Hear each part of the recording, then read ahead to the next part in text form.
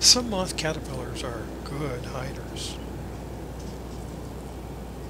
They can stitch leaves together and make a safe place to hide. They hide from other animals that might eat them.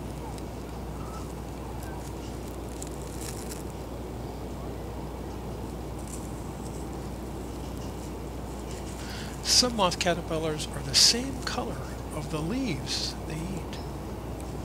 And being the same color as the place you live is another way to hide. When threatened, this caterpillar's defense strategy is to wriggle. Exposed now, this tree-living caterpillar quickly climbs up my hand. When its camouflage coloration does not match its background, the caterpillar is vulnerable to predation.